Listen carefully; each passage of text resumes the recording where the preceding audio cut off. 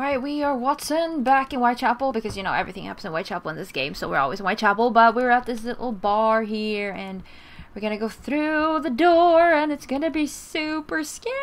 No. Let me in. I I have news from Squibby. But stay calm. And who are you?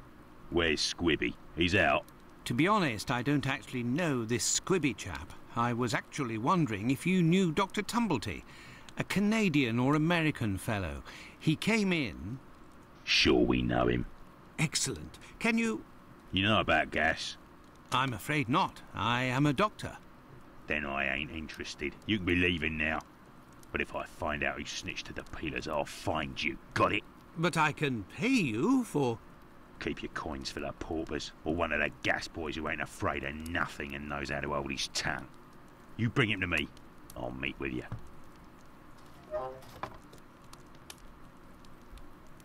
Well, that was, I guess, less scary than I thought, maybe? Oi, what'll it be to drink, Gav? Gav? Goodbye, my friend. Oi! Yeah, yeah, yeah, he's all. Oh, no, no, Gav, no, no, no, no. I've been no. told that Dr. Tum... No, no. no. Goodbye, my friend. Oi! Yes, yes, yes. Okay. Um. So now we go. I don't know. Police station, maybe. Because they talked about Squibby. Yes, Doctor. I will take my leave. Goodbye, Doctor. Um. Do you know about gas?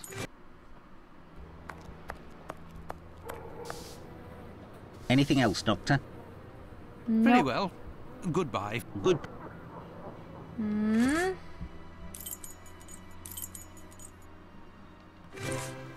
You can always go and see if there's a party at the brothel.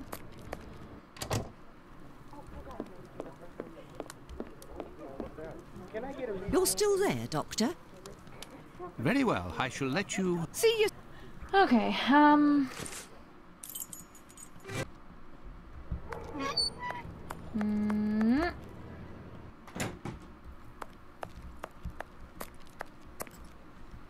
Yes, Doctor? Well, farewell, Doctor. Goodbye, Dr. Watson. What exactly am I supposed to do now?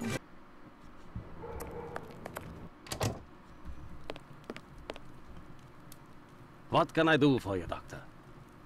Farewell, Isaac. Goodbye, Doctor. No, no, no, no. Uh, and I presumably cannot go back to. I have no reason to go that way. Yeah. I could return to Baker Street, but I am still missing some information. And that would put Holmes in a devil of a mood. Well, drats. Um. Man, I don't know.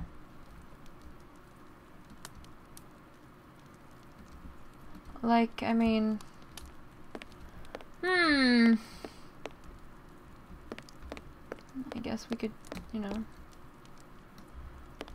No, it would be better not to insist. Yeah, probably. Um. I am completely lost. Right. Now then.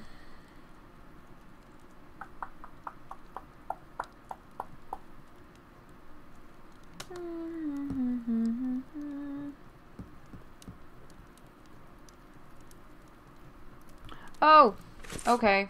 So we can actually do that. I thought I couldn't. Never mind. Alright, so...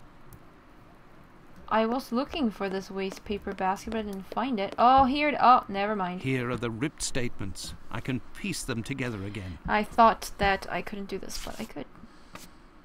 Oh, wait a minute. Do they rotate? Oh, they do.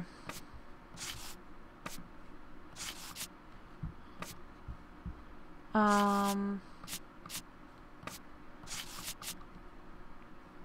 No.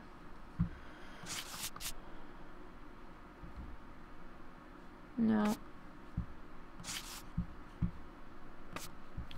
maybe sort of guessing at this point. That seems to be that. No.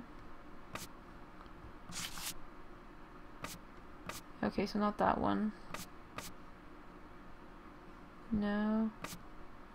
Hmm, interesting. Mm-hmm. Hmm.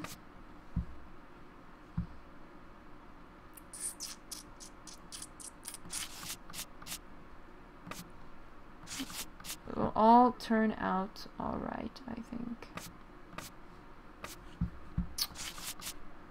Uh, aha. I see the problem here.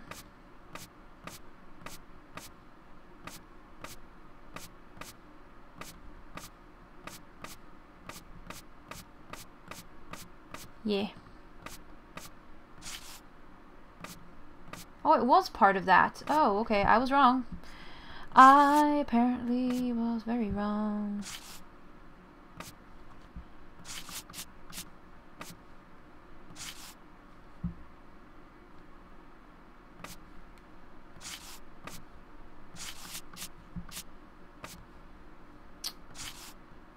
Um, I mean, all the witnesses seem to, to state the same thing, though, about time, so... I mean, that's weird. There, all done. Holmes couldn't have done better himself. Testimony of E. Long. On the morning of the murder, the witness left her domicile at 32 Church Street at approximately 5 a.m.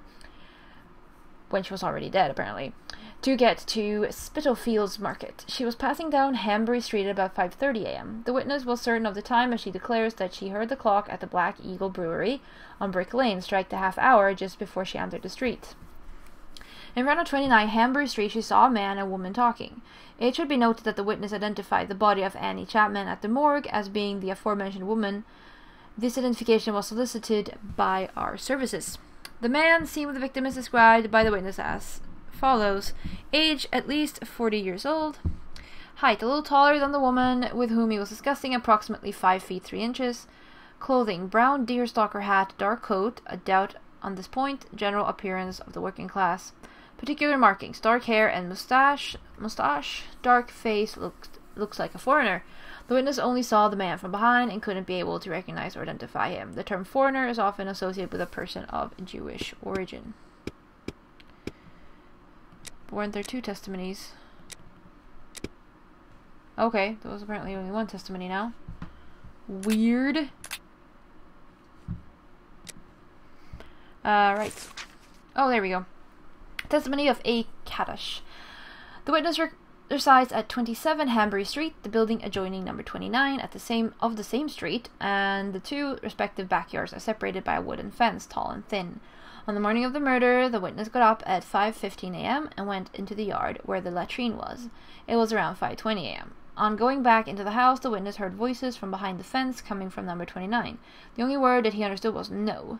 He went into the building again, but returned to the yard approximately four minutes later, whereupon he heard a noise as if someone fell against the fence. He then departed for work. Then he when he passed in front of the Spitalfields Church, it was approximately 5:32 a.m.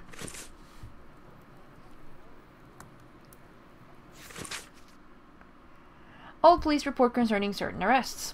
April 1886. At gunpoint from the White Plume Mountain Inn, also called the Kayak Affair, 5 years Dartmoor.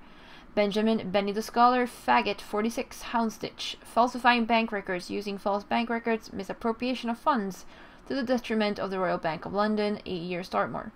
Jacob Levy, 30, Aldgate, theft of a weight of meat from his employer. Hyman Sampson, butcher at 58 Goulston Street, Whitechapel, 20 months, Essex County Asylum. Ron Obvious. Sounds like Ron Possible. Or Ron, no, no, wait, Kim Possible and Ron Stoppable. Ron Stoppable, but this is Ron Obvious. 26. Address unknown, vagrancy, embezzlement, indecent assault, degradation of a religious building to the detriment of the authorities in charge of the Chichester Cathedral, City of London Lunatic Asylum, inter- indeterminate duration. James Longford Jim, Nazar, 20, Whitechapel. An old report on arrests that took place a few years earlier. Well, It would seem that I have all the information I need for my investigation. Anyway, this fellow Bluto at the Wasp's Nest is rather shady and doesn't look like he'll want to cooperate. I'd be better off returning to Baker Street. Holmes will certainly know what to do. And besides, I am worn out. Good. We can now go home. I think Holmes should uh, take get get a disguise. Let's go back to Baker Street. Home, sweet home. Should get a disguise on and be like. There we are, Holmes. I've told you in great detail everything that happened last night. Excellent work, Watson. We shall now be prepared to answer a few questions about the horrible murder in Hanbury Street. Do you think we are now in a position to find out the identity of the murderer of these two women? No, I don't think so. It's outside of our scope and not our responsibility. As much as you've done for Leather Apron and the affair with the pills, our mission is to help the police by ensuring that they don't get caught up following false leads and to point them in the right direction. Let us start from what we know with some certitude. As you have just said, it is almost certain that the same person killed the Bucks Row and Hanbury Street victims. The reason to assume as much are numerous, and I shan't elaborate here. What do these two victims have in common? They didn't have anything in common. They knew people in common. They had the same profession. It's true these two women were in the same profession, but Indeed, Watson, these two women were both prostitutes. That is of vital importance, Watson. my memory from your examination of the scene is rather hazy. Didn't you say something about the killer's frame of mind? I was talking about the victim's possessions that were placed on the ground and the rings missing from Annie Chapman's finger. This killer is a cunning predator, comes from a rather humble background, and shows steely self control in carrying out the murders. Something is puzzling me, Holmes. Richardson's testimony contradicts the time of death given by Dr. Phillips, which also matches my own, 4:30 a.m. And yes, we shall confirm that, Watson, and attempt to determine the precise time of death. In order to do that, we will need to place everyone involved on a timeline. Only after that will we be able to place the knife symbolizing our killer. Timeline. Let's look at our timeline, Watson. Like in Crimes and Punishments. Yay, timeline. Termination of the exact time of Annie Chapman's murder in Hanbury Street. Sherlock and Watson arrive at the crime scene. Whoopsie daisy.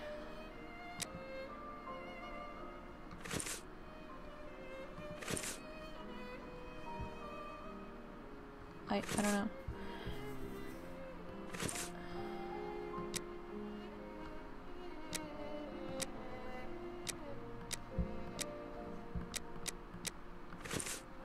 Wait. I don't know. Let's put the time of death as assessed by Dr. Phillips on the timeline. The assessment of the time of the murder given by Dr. Phillips and yourself, Watson, 4:30 a.m. We left the station at 6 o'clock and it took us 20 minutes to arrive at Hanbury Street. Our arrival at the scene occurred at around 6.20. Given the distance separating the two locations, we can deduce that the corpse wasn't discovered after 6 o'clock, and therefore that the murder must have been committed before. Okay. Uh, uh, that was some old police report. What's this? Uh.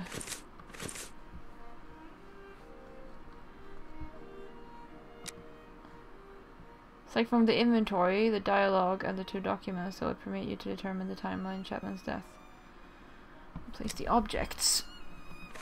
Um.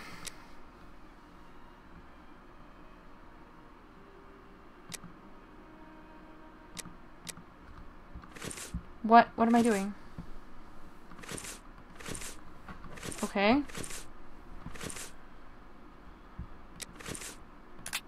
Um.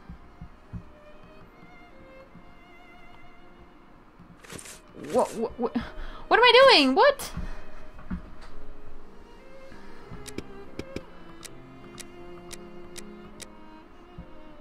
Okay. So I use some of these as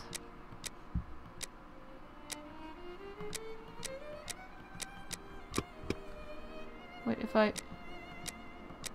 Oh, I can use any document as proof. Oh my good lord. Okay, um... I need... Um...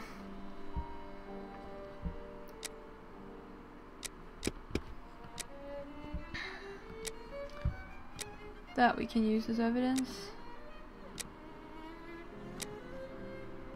And we can use that as evidence.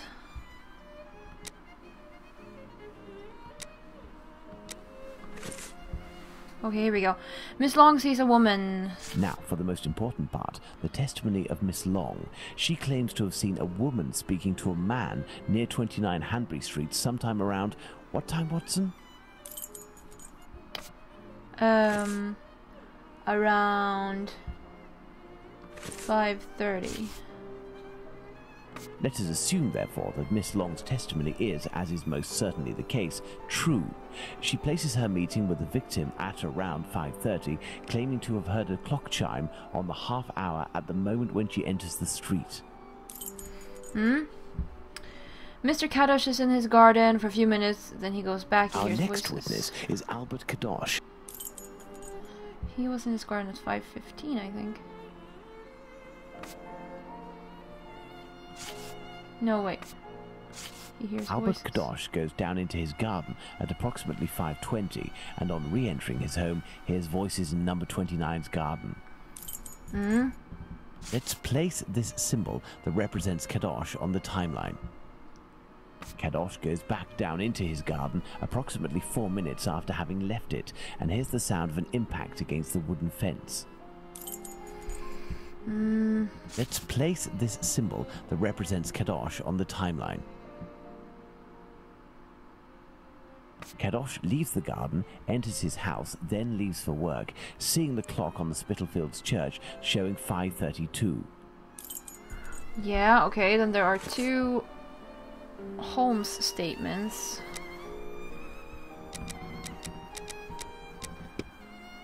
Or no, no, two two statements like these.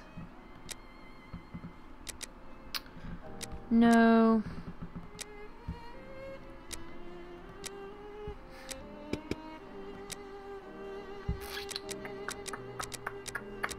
She say anything? No.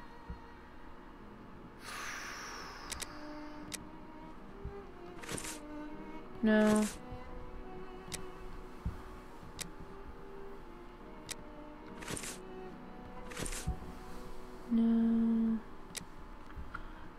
Um.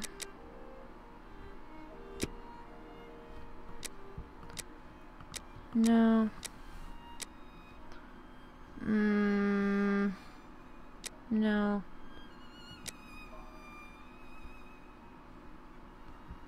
Reenactment. Other apron. Black footprints.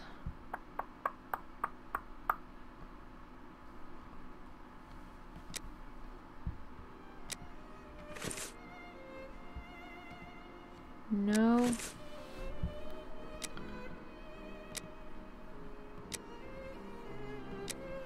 That that one testimony. No.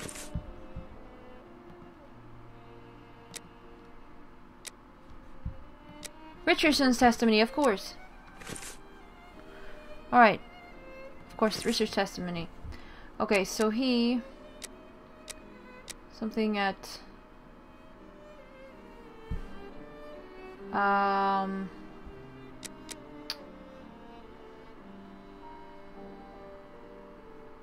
Quarter to five. Now, let's put the Richardsons' arrival and departure times on the timeline. And he now, leaves. let's put the Richardsons' arrival and departure times on the timeline. When did he leave? Like... No. Did he leave before five? Despite the great respect I have for Dr. Phillips and the value I place on our friendship, my deepest conviction is that both of you are mistaken and that Richardson is in the right and that these two testimonies put down in writing have real worth. But how? Explain yourself, Holmes. Remember how you assessed the time of death? You touched the fingers and body of the victim, but it was remarkably cold for this time of year. In addition, the corpse had been drained of bodily fluids. Its heat retention was therefore no longer the same as that of an intact corpse. Egad! You're right, Holmes. Oh, I've had some time to research, Watson. Given these facts, my first diagnosis may have been off by half an hour, perhaps even an hour. Thus, we can confirm Richardson's statement and establish that the murder was committed after 4:50 a.m. and not before 4:30 a.m. Excellent, Watson. All our people are now in place. Yes, but Holmes, Miss Long claims to have seen the victim at around 5:30. But according to Kadosh, someone, most certainly the victim and her murderer, was already in the garden at 5:30. Excellent observation, Watson. It must be noted, however, that these two witnesses, Long and Kadosh, saw the time shown on the clocks in the area, which are often inaccurate and went by their empirical and, in this case, erroneous estimate of how much time had passed. Thus, neither of these two times can be considered reliable. Do you mean to say that these two testimonies might match? Indeed, let's put Miss Long's meeting with the victim at two minutes before 5.30. Okay. Let's add Miss Long's meeting with the victim at two minutes before 5.30 a.m. Mr. Kadosh claims to have passed by the Spitalfields Church at 5.32, which, given the distance from 27 Hanbury Street, would mean he was still at home at 5.31. Let's therefore put the end of his testimony at 5.31. Uh, this one then. Wait. Oh, this one. No, no. Miss Long heard the man say to the victim, Will you. To which the victim responded, Yes, which would suggest that an agreement was reached and that the transaction was imminent. They then proceeded to enter the garden, which puts the voices heard by Kadosh at 529. Oh, okay. Uh, We go. had thought that Kadosh had left 27 Hanbury Street at 5.31 after having heard an impact against the fence. Thus, two minutes passed between the moment when Kadosh entered the house after having been in the garden the first time and the moment when he returns to go out again and leave for work. How long did he estimate this interval to be? Three to four minutes. In light of all this, Watson, we can finally establish the time of Chapman's murder. Now, place the knife at the exact time. Um, twenty-nine, thirty. Now then, taking into account that the local clock isn't exact and that a young man was off by a minute or two in his estimations of his comings and goings, we can confirm Miss Long's testimony and place the time of the crime at approximately 5:30. But in that case, Holmes, the man that Miss Long saw is none other than. That's right, Watson. It was the Whitechapel killer. To think that Miss Long and Kadosh were only a few feet away from him. Indeed, Watson. Had Miss Long passed just a little closer to the victim and her assassin, or had the young Kadosh popped his head over the fence out of curiosity, the killer would most certainly already be behind bars. That's some stroke of luck he had there. I couldn't agree more, Watson. But his luck didn't end there, given the mutilations inflicted upon this poor woman. What must be considered above all is the killer's obvious wish to remove one and only one specific organ. His surgery pinpointed the exact spot, avoiding superfluous incisions. This suggests the man possesses at least a minimal anatomical knowledge. Are you suggesting a, a doctor or a butcher? Perhaps, but the possibilities are still too broad to conclude with any certainty. Now for the motive. Despite my almost complete lack of practical experience on the subject, I have a rather precise idea of the usefulness of a uterus and a vagina. Nonetheless, once they are separated from their usual envelope, I am more circumspect as to the uses one can make of them. What do you think, Watson? You need a board, Watson. Lack of experience. Yeah.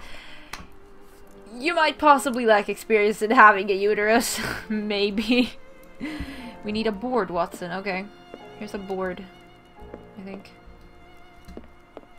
There is nothing more to do here. Oh. Okay. Uh. Where do we have a board then? Oh, there's a board. Hey, board. Come on.